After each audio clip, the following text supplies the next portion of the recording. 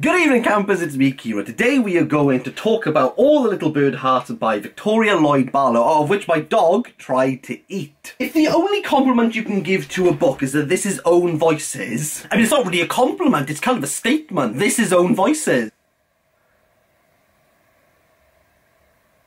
It's not a very good book then, is it? All Little Bird Hearts, told by an autistic mother, is really the over-analysis of an under-analysis.